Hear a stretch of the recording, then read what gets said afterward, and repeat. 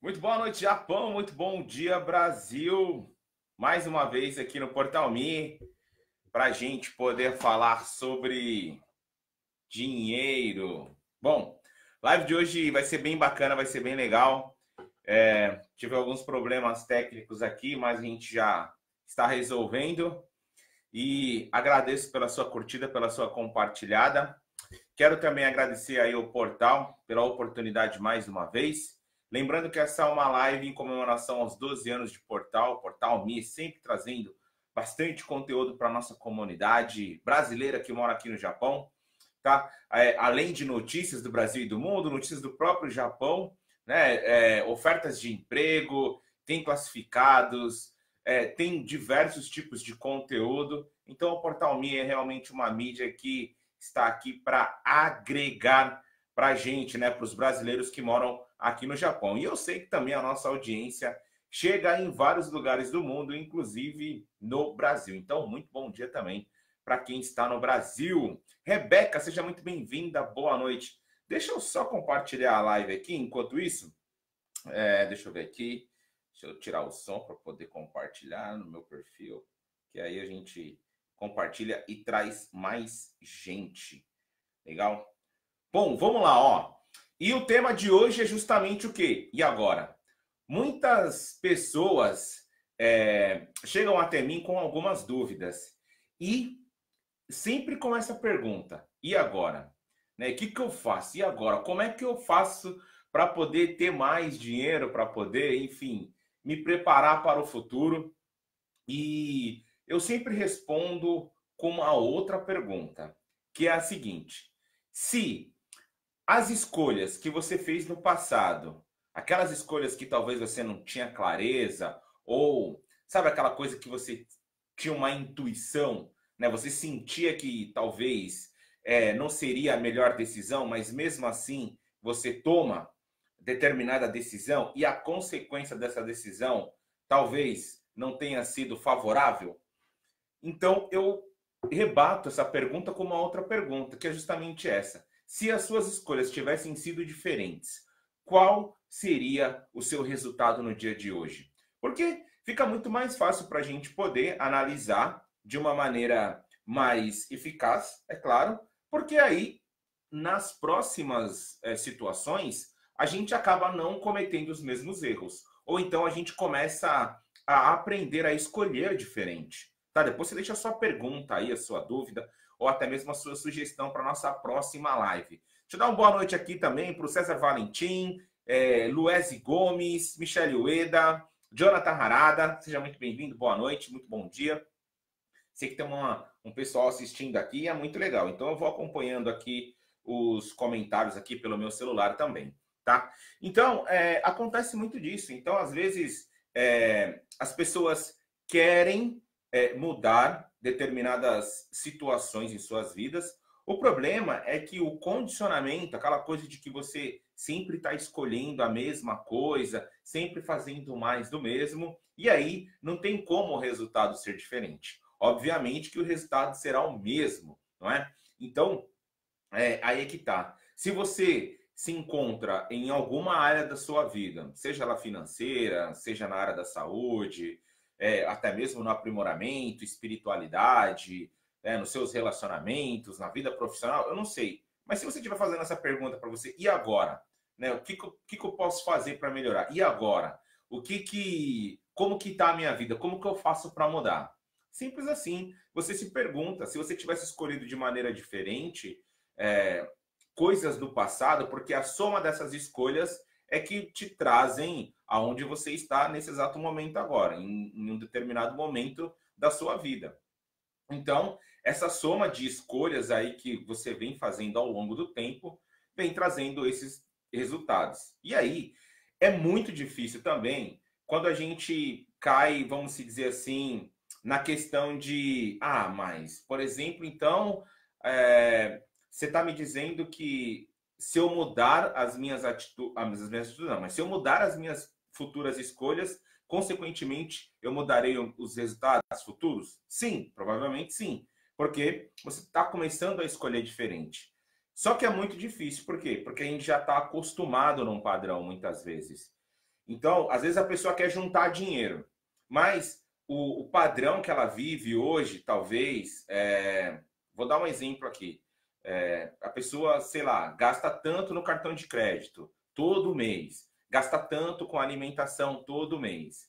É, aí tem, por exemplo, os passeios de fim de semana. Então, todo mês repete o mesmo padrão. É muito difícil sair desse padrão. É, a gente ouve é, uma frase que é bem famosa hoje em dia, que é basicamente o analfabeto do futuro, ou a, a, vamos dizer assim, que aquela pessoa que não é, é, o analfabeto não é aquele que não vai saber ler e nem escrever no futuro mas sim aquele que não consegue desconstruir uma ideia, ou seja, desaprender algo para reaprender de novo, para poder aprender a fazer diferente. Então, quando a gente está falando de, de, costumes, de comportamento, sabe, essa coisa assim, você recebe seu salário e aí você, por exemplo, se você já tem o hábito de juntar dinheiro, então você todo mês você vai juntar dinheiro. Faça chuva faça sol, aconteça o que acontecer, você vai conseguir guardar o seu dinheiro. Mas tem pessoas que não conseguem, tem pessoas que já recebem o seu salário, aí já vão pagar as contas, é, o aluguel, vão pagar as contas de luz, de água, o, o seguro-saúde, é, tirar o dinheiro para alimentação, pagar os financiamentos, e aí só se sobrar é que vão guardar dinheiro. E fazer diferente disto é bem difícil. Requer o quê? Requer você desaprender, você acostumar a fazer algo diferente. Só que para você acostumar, você tem que treinar. Você tem que fazer várias e várias vezes. Né? Existe um estudo científico que um novo hábito, para ele ser incorporado, ele precisa 21 dias consecutivos. Imagina que você vai ter que fazer 21 vezes é, alguns tipos de comportamentos até que você não faça mais, não faça mais o comportamento anterior, que talvez não te trariam o resultado que você gostaria, só que é muito difícil. Então, por exemplo, dieta é uma coisa que é bem difícil. Parar de fumar também é uma outra coisa bem difícil. Por quê? Porque requer você desaprender, desconstruir uma ideia e reconstruir novamente um novo caminho. Né? E treinar todos os dias, persistir, para você poder continuar, é, para você poder continuar, para você poder é, dar um, um, um novo uma nova consistência para que o seu resultado seja diferente. Deixa eu ler alguns comentários aqui. Deixa eu ver se tem comentários. É, o Portal Mi aqui está colocando aqui as, as mídias sociais. Muitíssimo obrigado, Portal Mi. Júlio de Oliveira, seja bem-vindo, boa noite. Então, é, é, bem difícil essa questão de você tirar um padrão, né, sair de um padrão e ir para um outro. Só que nós, seres humanos, é, nós da cadeia alimentar, vamos dizer assim, nós somos os únicos animais que conseguimos aí nos readaptar a qualquer tipo de situação. Vou dar um exemplo.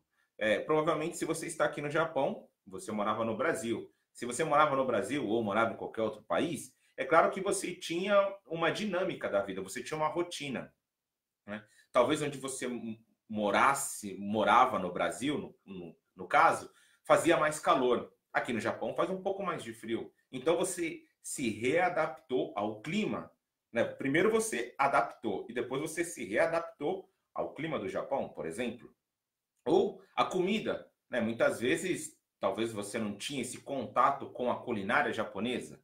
Quando você vem para cá, você se adapta à culinária e você se readapta novamente. Não é isso? Então, tanto que se você sair daqui e for para outro lugar, você teoricamente vai se readaptar. Antes, talvez você ganhava menos e você tinha uma, é, é, vamos dizer assim, uma dinâmica financeira, uma rotina financeira. Ou talvez você ganhava até mais. E agora você ganha mais ou talvez você ganha menos. E você consegue se readaptar. Só que gera um esforço a gente se readaptar. Só que vale muito a pena, porque é só no começo, nesse princípio, no começo desses 21 dias, é que o negócio fica um pouco mais difícil. Depois, quando você vai pegando o jeito, quando você vai pegando o ritmo da coisa, vai ficando mais fácil. E aí é claro que é, tem essas fases, né? Que você é principiante, depois você começa a se tornar um pouco mais experiente e até chegar ao ponto de você fazer as coisas com muita maestria. Provavelmente assim também foi o seu trabalho quando você chegou aqui no Japão. É, a, a, linha de produção, ou enfim, a, a fábrica ou o trabalho que você começou a fazer aqui no Japão, quando você olhou e falou, nossa, isso aqui acho que é muito difícil, eu não vou conseguir fazer. Passou-se uma semana, duas semanas ou um mês, você já estava ali fazendo.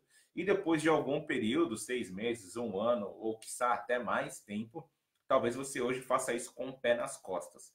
Mas para te provar aqui que é totalmente possível você sair de um estado e migrar para outro estado, algo que você gostaria. Né? E na parte financeira é a mesma coisa. Né? Você pode começar de pouquinho, só que a dica mais importante que eu posso te dar é: antes de você pagar qualquer coisa, pague a si mesmo. Por quê? Se não fosse você, se não fosse o seu trabalho, se não fosse o seu tempo, você não teria esse valor financeiro que você recebe mensalmente para poder pagar o aluguel, pagar a luz, pagar as contas, enfim. Você precisa se pagar primeiro. É, existe um livro bem bacana chamado O Homem Mais Rico da Babilônia, que ele bate muito nessa tecla de que é necessário que você tire pelo menos 10% daquilo dos seus rendimentos ali para você se pagar. Porque você vai dar mais valor ali para o seu dinheiro, né? E aí você talvez, é, se a pessoa tem um estilo de vida um pouco mais consumista, gosta de comprar coisas, é bem provável que ela acabe mudando, né? Porque aí você dando um pouco mais de valor, muitas vezes você nem precisa de tal objeto, mas a gente acaba comprando por capricho, por um desejo emocional, ou até mesmo para ser uma válvula de escape, por exemplo, tá? Então, o mais legal é que você desenvolva capacidades pessoais em você para que você possa sair de um nível e alcançar outro nível. Legal? Bom, deixa eu ver aqui se tem perguntas. Diego Tiama, seja muito bem-vindo. Boa noite. Deixa eu ver aqui se tem mais gente. Sei que tem 30 pessoas me assistindo. Pessoal, deixa sua pergunta aí se você tiver pergunta, se você tiver é, sugestão para a próxima live, ou até mesmo, ah, pô, eu gostaria que você falasse sobre, sei lá, não sei. Ah, Deixa eu dar uma dica bem bacana aqui, que eu, eu fiz uma live na quinta-feira passada com a Priscila Haruko, uma das professoras da nossa plataforma de estudos é, sobre educação financeira e investimentos aqui no Japão. E a gente estava falando sobre cartões de créditos. E a gente sabe que o governo está estimulando para que a gente utilize mais essa moeda eletrônica, vamos se dizer assim, tá? Que é o dinheiro de plástico, não o dinheiro de papel. Porque o dinheiro de papel vai fazer com que os juros aí, enfim, acabem aumentando, né? Quanto mais dinheiro tiver em circulação, maiores são as taxas, tá?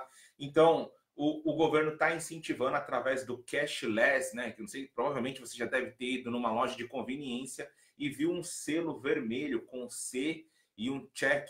É, toda vez que você compra com o seu cartão de crédito, seja o cartão pré-pago ou o cartão pós-pago, ao invés de você pagar 10% nas suas compras, você acaba pagando somente 5%, tá? E o legal é que você vai juntando pontos no seu cartão. Aí, às vezes, você quer viajar, você quer se hospedar em um hotel, é, ou até mesmo trocar pontos por dinheiro, que também em algumas bandeiras, em alguns cartões também é possível. Então, vale a pena você utilizar o cartão de crédito, mas ressalva para você que é tenha um planejamento, tenha um orçamento para você utilizar o seu cartão de crédito. Então, por exemplo, se você for fazer compras de alimentação com o seu cartão de crédito, ao invés de você pagar 8%, você vai pagar 3%, né? Porque você está eliminando aí os 5% que o cashless te dá.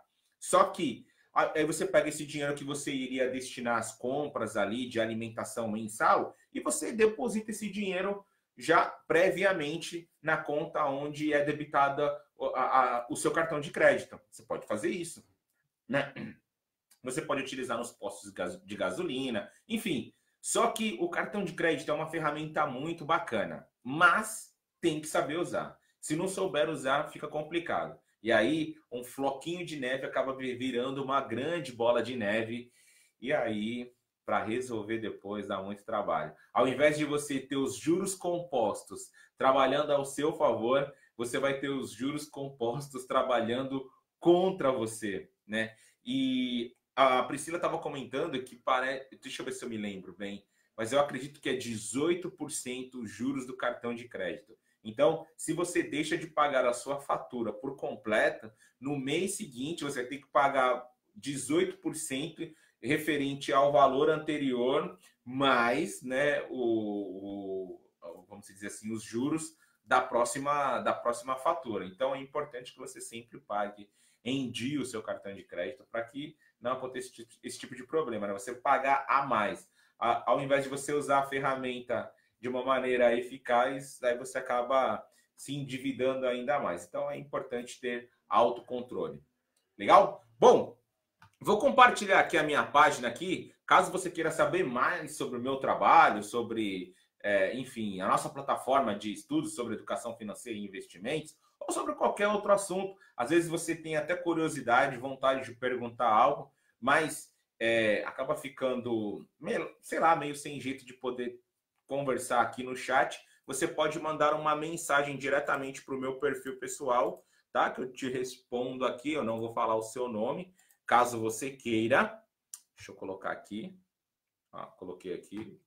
E também vou colocar na minha página, tá? Minha página, que é a Método Valor Kaizen. Deixa eu colocar aqui.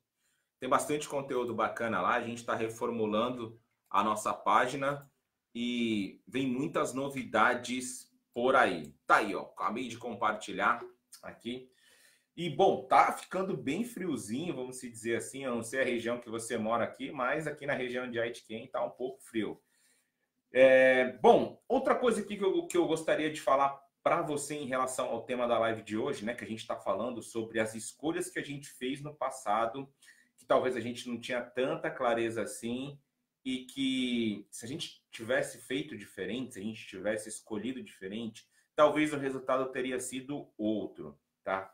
É, eu, mais ou menos há sete anos atrás, eu tive algumas experiências e tal, e eu tive um turn point ali, né? Uma, uma virada de chave, vamos dizer assim, um ponto de virada, e que realmente a minha vida mudou.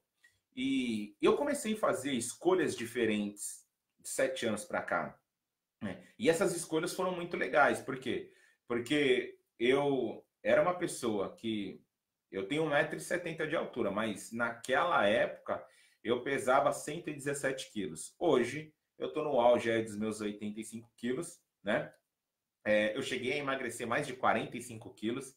Então, o que, que eu fiz lá no passado? Quais foram as, as escolhas diferentes que eu, que eu fiz? Porque até então eu, eu tinha um condicionamento, eu tinha um comportamento de, de comer muito, ou então de comer muita besteira, de comer bastante comida calórica, enfim, de não me exercitar com frequência, vamos dizer assim. Jogava um tênisinho aqui, outro ali e tal é, não o tênis de, de colocar no pé mesmo, mas o tênis mesmo, esporte tênis, mas não era algo que eu fazia com regularidade. Né? É, era um pouco boêmio também, enfim. Mas acabei mudando ali alguns comportamentos, é, algumas atitudes, escolhendo outras coisas e fui emagrecendo. Né? É, também parei de fumar, ou seja, quando você começa a escolher a não fumar todos os dias, depois de um determinado período, você para de fumar parece ser simples assim falando, né? Nossa, você para de, você para de comer assim, você para de escolher, mas é claro que existem é, algumas competências relacionadas ao desenvolvimento pessoal que são necessárias para que você, é, além de ter um motivo forte porque você está fazendo algo, você precisa ter essas, é, essas competências é, de maneira que você vai trabalhando elas para que elas solidifiquem ali e você consiga dar consistência naquilo que você está fazendo, né? Dia após dia, semana após semana, mês após meses. Então, eu comecei a escolher diferente lá, lá no passado, né? É, no, passado não tão distante, mas há sete anos atrás.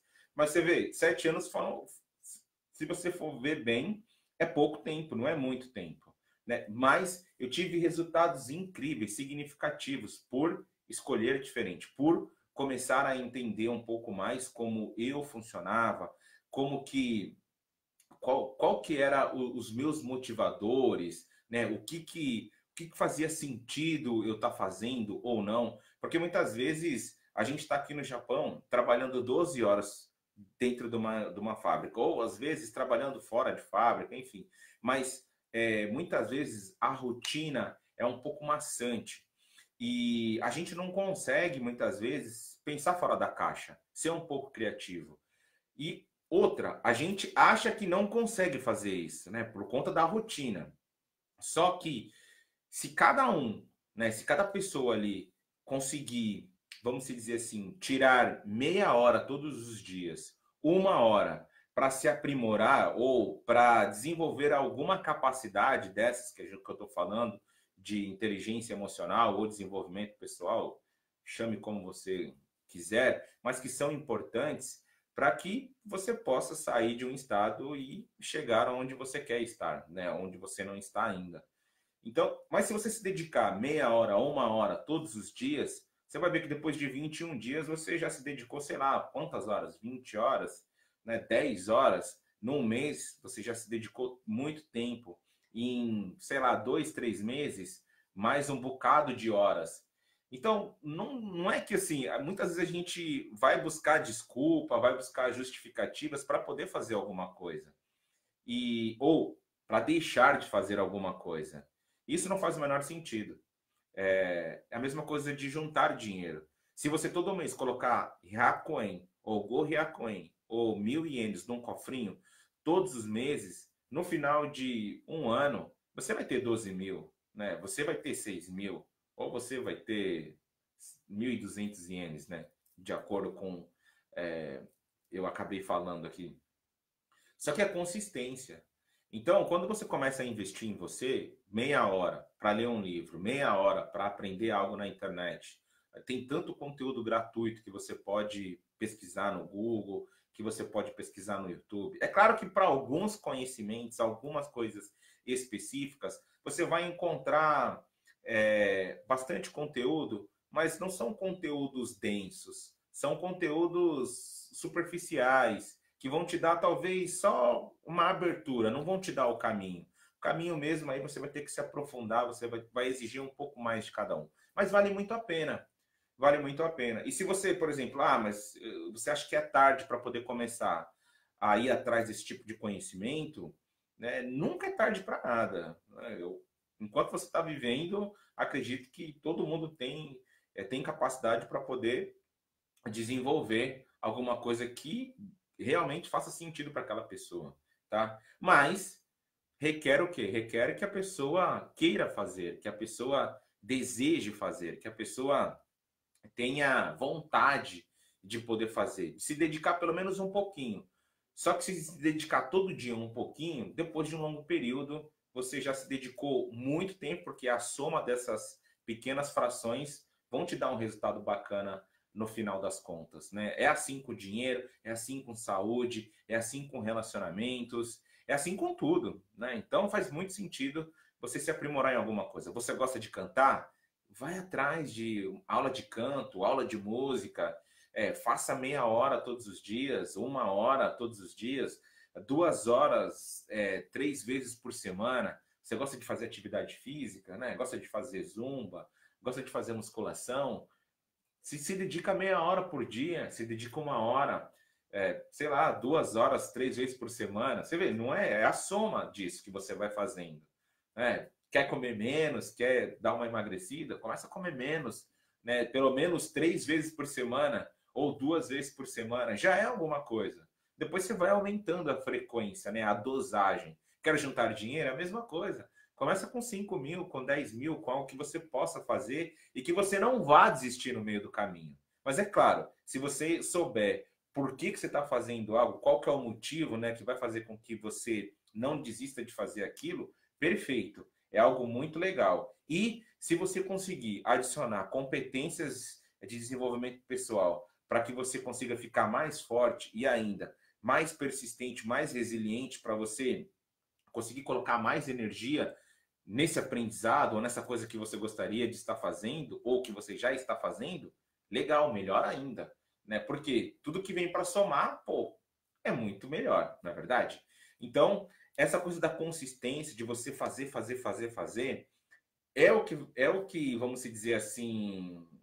É, como é que fala? Coisa, é, esqueci agora o termo, mas é, é o X da questão, vamos dizer assim. É a mágica por trás do negócio.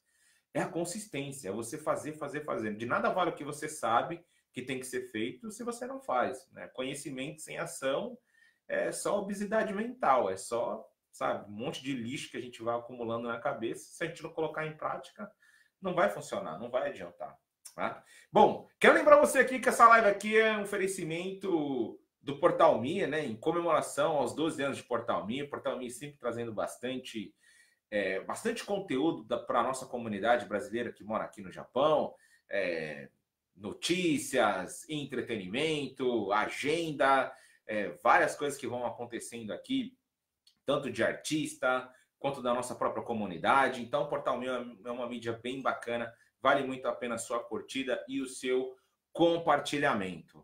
Bom, vou chegando aqui ao final da live, não tem perguntas. Hoje o pessoal está meio, é, vamos dizer assim, com com vergonha de perguntar. Deixa eu ver se chegou alguma mensagem aqui para mim no meu perfil pessoal, né? Porque vai que chega mensagem aqui e eu não vejo, não. Não chegou nenhuma mensagem aqui. Quero pedir desculpa pelo atraso da live, porque tivemos alguns problemas técnicos aqui e acabou que não a gente não conseguiu entrar no horário, mas entramos no horário, mas acabamos entrando ao vivo. É, não é por, por isso, eu poderia arrumar uma desculpa aqui, não ouvir, mas estou aqui fazendo a live, compartilhando um pouco do meu conhecimento. E se você quiser saber mais sobre o meu trabalho, se você quiser saber mais é, sobre o método Valor Kaizen, né, que é o método de você valorizar a sua melhoria contínua, sabe? Valorizar ali os seus pequenos passos que vão consolidando o seu crescimento exponencial entre em contato comigo, me manda uma mensagem. Eu vou ter o maior prazer de poder te conhecer e poder saber um pouco mais da sua história. É, tem alguns eventos aqui é, que eu gostaria de fazer o convite para você. O primeiro é amanhã, eu vou estar em Nishio.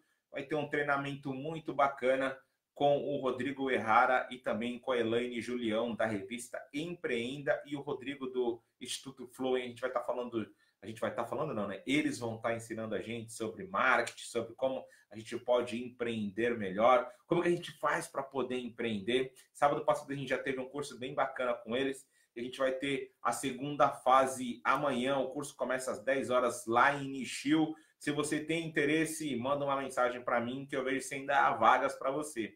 E no dia 23 e 24, os investidores online estarão estará realizando estará, não, né? estará realizando um curso presencial sobre bolsa de valores, né? Como você pode analisar uma empresa, fazer uma análise fundamentalista, entender sobre EBITDA, sobre projeção, sobre PVP, sobre, enfim, um monte de coisas que é bem bacana e que você faz com que você consiga, por exemplo, ah, sei lá, às vezes você tem vontade de ser dono do McDonald's, você pode, você pode comprar ações do McDonald's, do Banco Mizuho, você pode comprar da Amazon, do Cotisco, enfim. Você só precisa saber qual que é o momento oportuno para você entrar, ficar com essa ação ou entrar e realizar os seus lucros no médio, curto ou longo prazo.